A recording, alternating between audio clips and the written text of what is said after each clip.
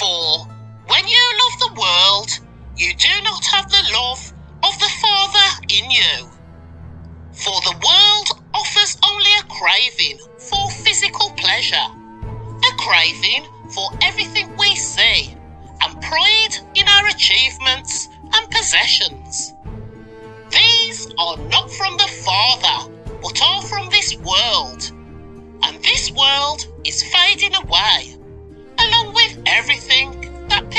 crave. But anyone who does what pleases God will live forever. For once you were full of darkness, but now you have light from the Lord. So live as people of light